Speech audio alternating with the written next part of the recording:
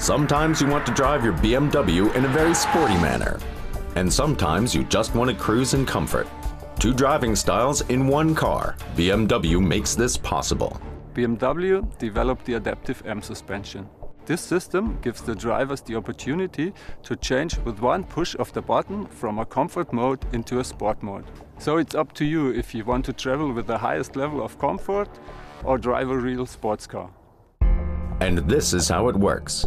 For the driver, it's easy to choose the driving mode. For the BMW, it's a big change. We use a huge variety of sensors which continuously deliver all the informations about the current driving status to the control unit.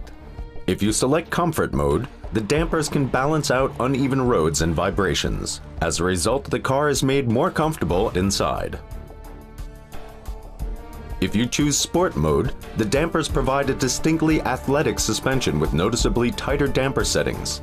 And the most sporty way to drive is the Sport Plus mode.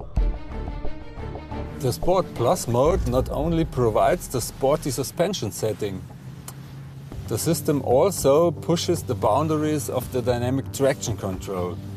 As a consequence, you get more traction on the driving wheels.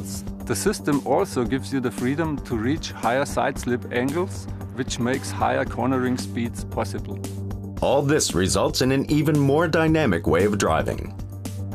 Different driving characteristics in one car. The adaptive M suspension makes it possible with the driving experience control button. Available for many BMW and all BMW M models.